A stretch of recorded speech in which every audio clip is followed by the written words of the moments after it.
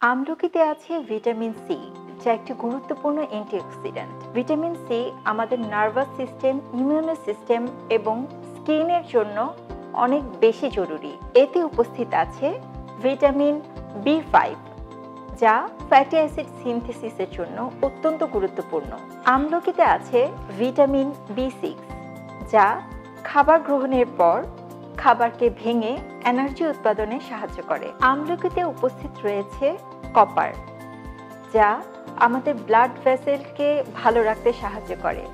এছাড়া আমাদের ব্রেইন এবং হার্টকে সুস্থ রাখার জন্য এই উপাদানটি অত্যন্ত গুরুত্বপূর্ণ।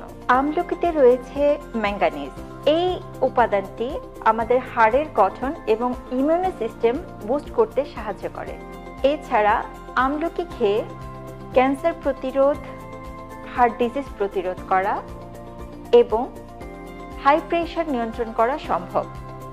আমাদের স্কিনকে উজ্জ্বল করতে এবং সুস্থ রাখতে আমলকির যথেষ্ট পরিমাণে ভূমিকা রয়েছে। অল্প দামে ভালো ফল হিসাবে আমলকির কোনো বিকল্প নেই।